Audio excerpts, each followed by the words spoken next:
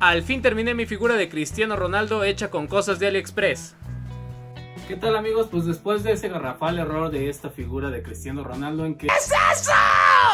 El dorsal no llegó como debía ser, ya tengo aquí todo listo para que podamos dejar esta figura como debe ser y sea una representación muy digna de nuestro comandante.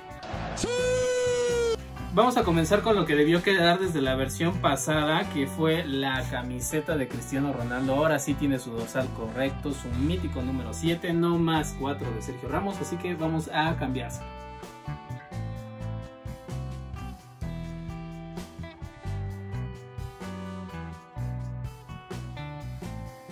Chavos, aquí voy a hacer un inciso porque la cabeza se le sale demasiado, se le rompió de acá, no sé por qué, tal vez tiene que ver con que es una figura china, pero vamos a pegarla con cola loca para que ya deje de dar lata con eso y lo voy a hacer antes de ponerle su camisa porque pues si le cae cola loca la camisa la voy a echar a perder. Listo la banda, ahora sí ya quedó con su cuerpo adherido a su cabeza porque esto era una problemática que tenía constantemente que su cabeza se le salía. De hecho ya miren, ya lo puedo agarrar de aquí y no se cae. Entonces ya ahora sí vamos a ponerle su playerita con el dorsal número 7. Ah, mira qué diferencia ahora sí con el 7 en su playerita y en su shortcito y todo como debe de ser. Excepto porque nuestro Cristiano Ronaldo sigue jugando fútbol como juegan en mi pueblo en Tabasco, descalzo. Así que eh, ya tengo aquí sus, sus, tacos que va a llevar.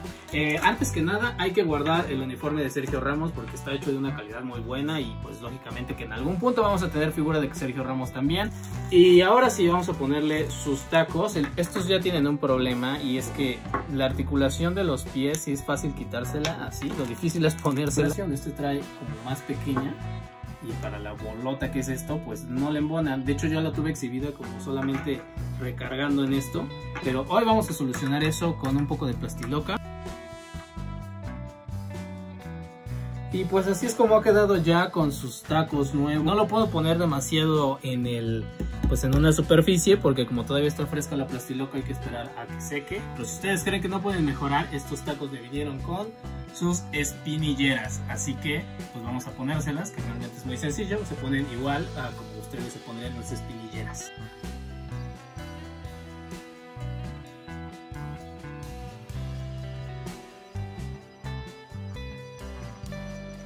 Y ahora para terminar, Mr. Champions no puede ser Mr. Champions sin...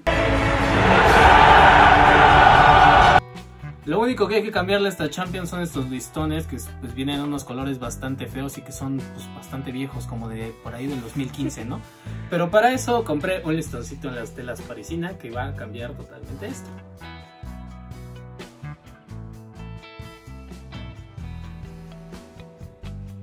Y así es como quedó nuestra Champions, bastante coquet. Que todas estas cosas las armé en AliExpress, el uniforme, absolutamente todo.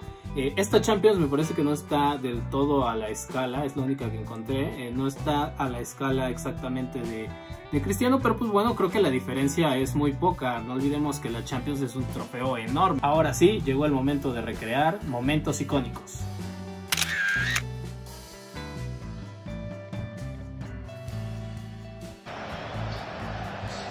Muchas gracias afición, este para vosotros. ¡Sí! No, guardianos, no olviden que este proyecto aún no termina, aún falta hacer una ilustración del bicho y esa ilustración la vamos a utilizar para hacer el mismo blister, algo así como esta figura de Gaby Mesa que hice, pero de Cristiano Ronaldo. Así que si quieres ver el resultado final, estate al pendiente porque muy pronto lo vamos a tener aquí. Yo soy Nowhereman, nos vemos a la próxima. ¡Sí!